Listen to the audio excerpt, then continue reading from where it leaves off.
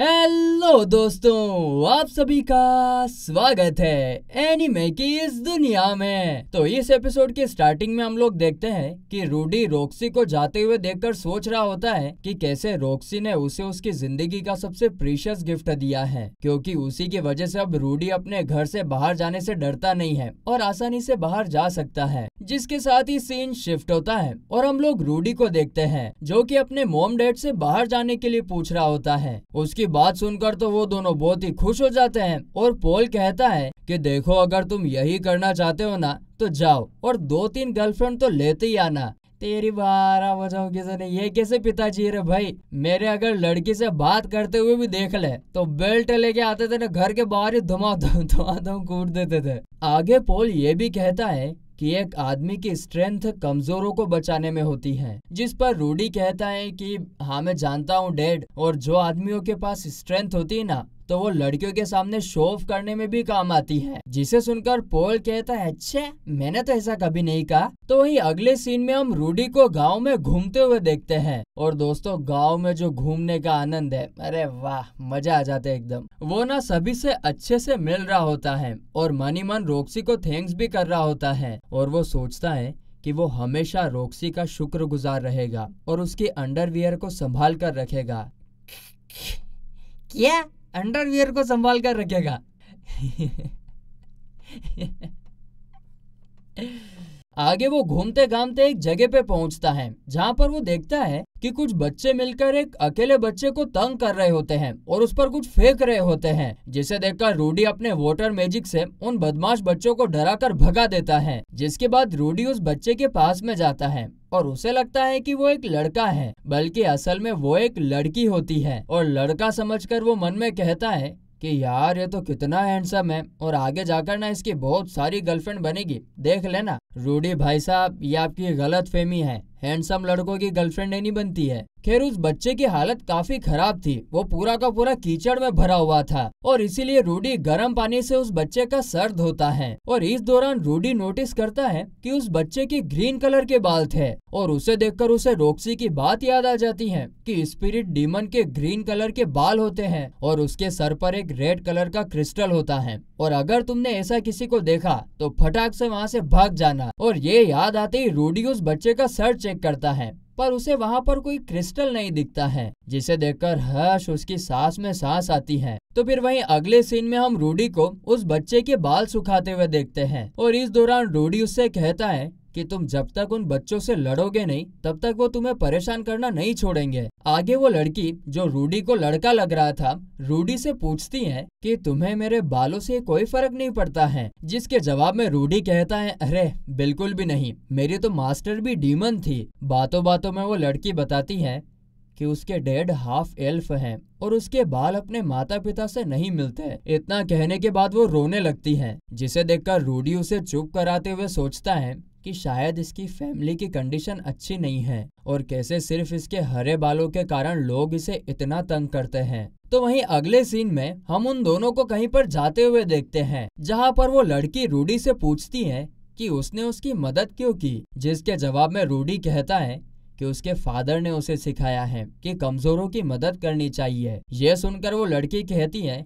कि अब जब तुमने मेरी मदद की है तो अब वो लोग तुम्हारे साथ नहीं खेलेंगे। जिस पर रूडी कहता है कि अगर ऐसी बात है तो तुम मेरे साथ खेल लेना। फिर आगे बात करते करते वो लड़की अपना नाम सिल्फ बताती है, जिस पर रूडी कहता है कि ये तो वाइंड स्पिरिट के जैसा है। बहुत अच्छा नाम है तुम्हारा। आगे वो दोनों एक जगह पर पहुँचते हैं और रूडी कुछ खेलने की बात करता है, जिस पर सिल्फ बोलती है कि उसे कुछ खेलना नहीं आता। वो कभी किसी के साथ खेली नहीं, जो सुनकर रूडी को उसके लिए थोड़ा बुरा लगता है। तभी सिल्फ रूडी को उसे मैजिक सिखाने को बोलती है, जिस पर रूडी हाँ बोलकर उसे सिखाने भी लगता है और उसे प्रैक्टिस करते रहने को बोलता है। इसके बाद शाम ढलने पर रूडी सिल्फ को उसके घर पर छोड़कर अपने घर जाने के लिए निकल जाता है। तो वहीं घर आने पर पोल उससे कहता है कि मैंने सुना है कि तुमने सोमल को मारा है। दरअसल सोमल उसी लड़के का नाम है जो सिल्फ को परेशान कर रहा था। पोल के इतना कहने के बाद रूडी कुछ कहने की कोशिश करता है, पर पोल उसे कुछ कहने ही नहीं देता है।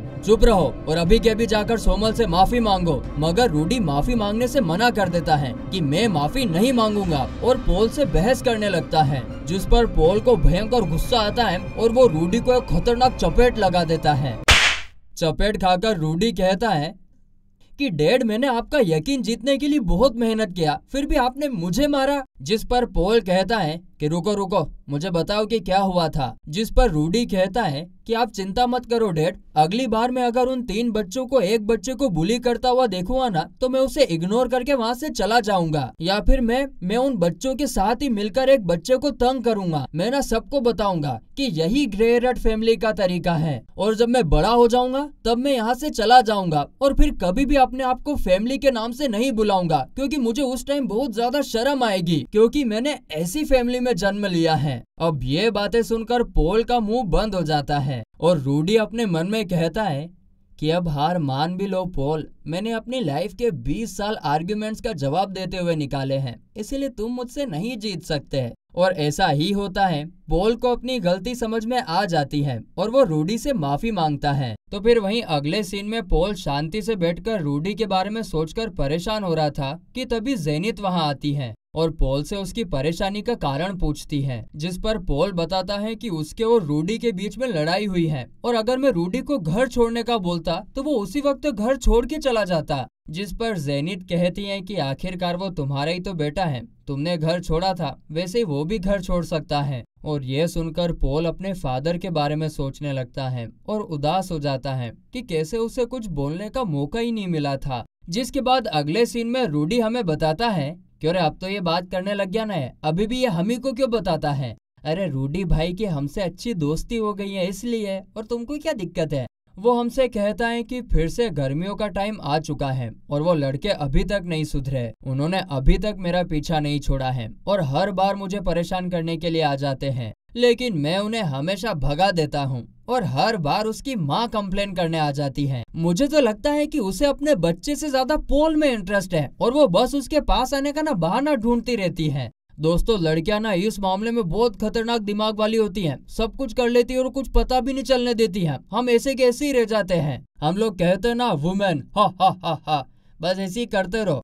आगे हम रूडी को ट्रेनिंग करते हुए देखते हैं। वो ट्रेनिंग करते करते थक कर ज़मीन पर लेट जाता है और तभी वहाँ पर सिल्फ आती है। आकर वो अपने मैजिक की प्रैक्टिस करने लगती है और इस दौरान रूडी हमें बताता है कि सिल्फ का मैजिक छह महीनों में ग्रो कर गया है और इसका मतलब मैं बिल्कुल सही था कि हमारा मैजिक प्रैक्टिस करने से बढ़ता है। इसके बाद सिल्फ रूडी से उस मैजिक के बारे में पूछती है, जो उसने उसके बाल सुखाने के लिए किया था, जिस पर रूडी उसे बताता है कि वो मैजिक उसने आग और पानी को मिलाकर किया था, जिसे सुनकर सिल्फ आगे रूडी से पूछती है, और वो बिना मंत्रों के मैजिक को कैसे कर लेता है? जिस पर रूडी उसे बताता है कि तुम भी इसे कर सकती हो, बस तुम्हें मैजिक को अपने अंदर फील करना होगा। जिसके बाद सिर्फ़ बिना मंत्रों के मैजिक करने की कोशिश करती है, और थोड़ी ही देर की मेहनत और कोशिश के बाद सिर्फ़ भी बिना मंत्रों के ही मैजिक करने लग जाती है, और इससे वो काफ़ी ज़्यादा खुश होती है। ये आगे फिर जब रूडी अपने पुरानी लाइफ के बारे में सोच ही रहा था कि तभी अचानक से बारिश स्टार्ट हो जाती है और वो दोनों रूडी के घर के अंदर चले जाते हैं।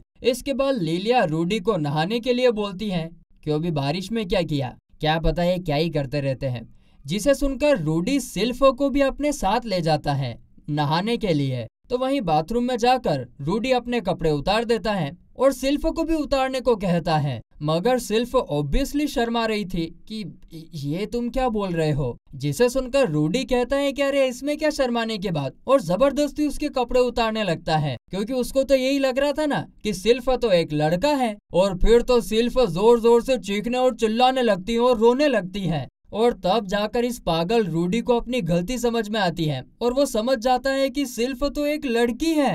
और देवा रे देवा, ये क्या गलती हो गई रे मुझसे? रामा रे रामा। और तभी वहाँ पर रूडी के फादर आ जाते हैं और ये सीन यहीं पर शिफ्ट होता है। तो फिर आगे अगले सीन में हम पोल और रूडी को बात करते हुए देखते हैं, जहाँ पर पोल उसे सिल्फ से माफ़ी मांगने को कहता है और फिर आगे नीचे आने पर पोल रूडी को हिम्मत देता है और उसकी तारीफ़ भी करने लगता है कि तुम ये कर सकते हो, मुझे तुम पर पूरा विश्वास है। इसके बाद रूडी सिल्फ के पास आता है और उससे माफ़ी मांगने लगता है और कहता है कि तुम प्लीज़ मुझे माफ़ कर दो। दरअसल तुम्हारे छोटे बालों की वजह से मुझे लगा कि तुम एक लड़का हो, जिसे सुनकर सिर्फ़ कुछ नहीं कहती है और रोने लगती है। तो वहीं ये सब देखकर पोल मन में सोच रहा होता है कि शायद मेरा बेटा कुछ ज़्यादा ही बुद्धू है। तभी सीन फिर से शिफ्ट होता है और हम पोल और रूडी को स्वोर्ड प्रैक्टिस करते हुए देखते हैं और इसमें रूडी कुछ खास कर नहीं पा रहा होता है, उसका मन ही नहीं लग रहा था। और ये नोटिस करके पोल कहता है कि क्या तुम अभी तक सिल्फ के साथ अपनी प्रॉब्लम को सुलझा नहीं पाए हो क्या? जिस पर रूडी उदास हो जाता है और पोल से कहता है कि डेड आप प्लीज़ मेरी हेल्प कीजिए। तो पोल रूडी को कुछ टिप्स देने लगता है और उसे सिल्फ के पास जाने के लिए बोलता है। और इससे रूडी को थोड़ी बहुत ही सही, लेकिन हिम्मत मिलती है। और आगे तभी वो सिल्फो को अपने घर के बाहर खड़ी देखता है और उसकी तरफ़ हिम्मत करके जाने लगता है। सिल्फ के पास जाते ही वो उससे माफ़ी मांगने लगता है। प्लीज़ मुझे माफ़ कर दो यार, मुझसे गलती हो गई, प्लीज़ माफ़ कर दो। तभी सिल्फ रूडी का हाथ पकड़कर बोलती है कि तुम मुझे माफ़ कर दो और तुम चिंता मत करो, मैं तुमसे नफरत नहीं करती और अब से तुम फिर से पहले की तरह मेरे साथ रहो। सिल्फ को अचानक से क्या हो गया यार? एकदम से मान किसे गई? पता नहीं। इसके बाद दोनों की फिर से दोस्ती हो जाती है और यह देखकर पोल बहुत खुश होता है और दोनों को गले लगा लेता है और फिर आगे वो अपने मन में सोचता है, एक सेकेंड मैं ये छोटे बच्चे को क्या सिखा रहा था? और इसी के साथ ये एपिसोड यहीं पर खत्म होता है।